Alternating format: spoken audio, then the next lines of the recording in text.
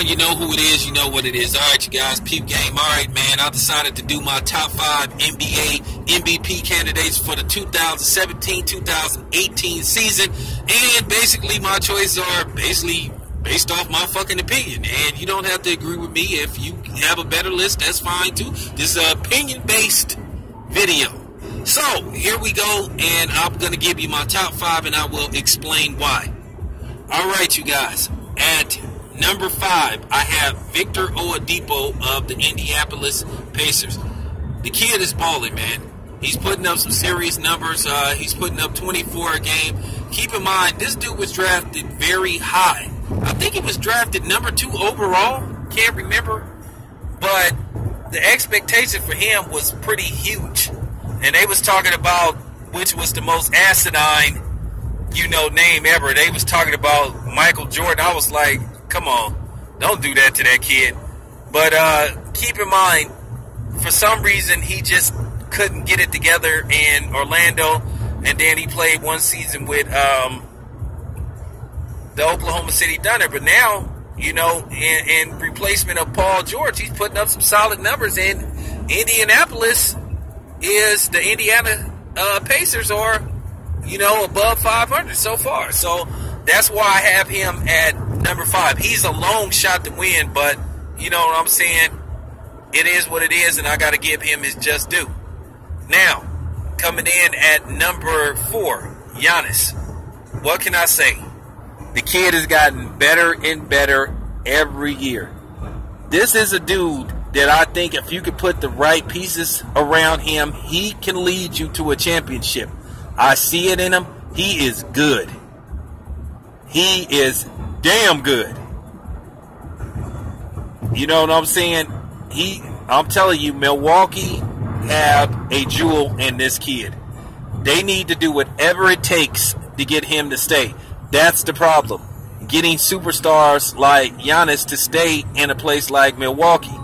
You know what I'm saying? No disrespect to Milwaukee, but you know how this is, you know they see a chance to go to the Heat and all them type of cities, and you know they, they jump at it. But hopefully Milwaukee can get this dude to stay, and they build the team around around him. Because like I said, I could see him if you put the right pieces around him, he could win a championship. And I do believe eventually within the next five years, if he keep playing like how he's playing, he will be the dude to hold the mantle, you know, alongside with Kevin Durant, you know, when LeBron James packs it in. Keep in mind, Kevin Durant is is uh, 29. He still got got at least four good years left, and Kevin Durant will be the best player in the league when LeBron James leaves, and then I think Giannis will hold that torch.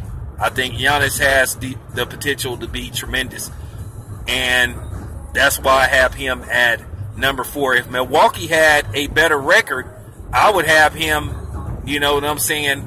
Possibly at number one. Okay.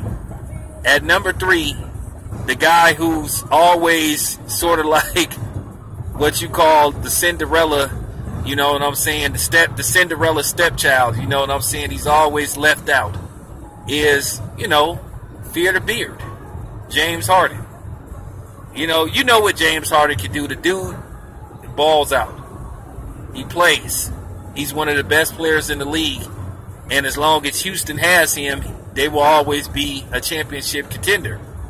You know what I'm saying? Some people believe this is the year he may, you know, break through the wall.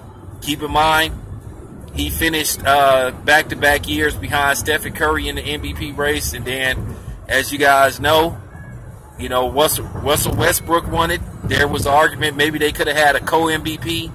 But, you know, they really don't like doing that in the NBA. So, you know, James Harden, this may be this may be the year for James Harden.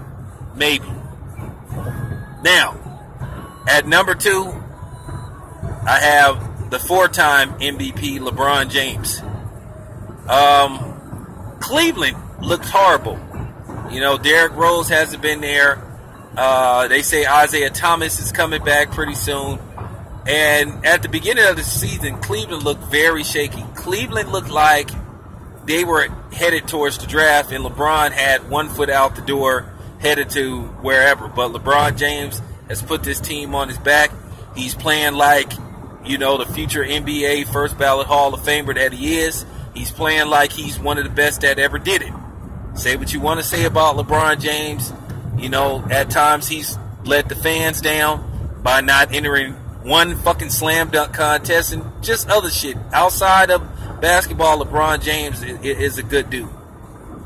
But just in certain times, LeBron James has, you know, failed, you know, especially in the NBA Finals. But nevertheless, that doesn't take away the fact that he's one of the greatest players of all time.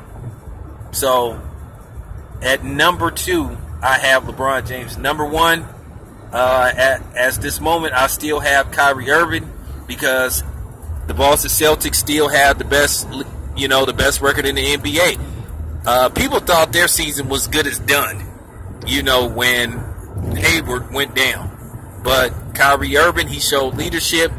He's playing like a dude that's been there before. He's put this team on his back as well. Now, he's not putting up what you would call stellar numbers, but keep in mind, Steve Nash won the MVP back to back years, and he wasn't the leading scorer on his team or the leading scorer in the league. So I don't think scoring is that big of an issue. I think it's what you're doing and contributing to the team. So there you have it. Those are my five, you know what I'm saying, choices for possible MVP. So we'll see what happens, man. I'm out.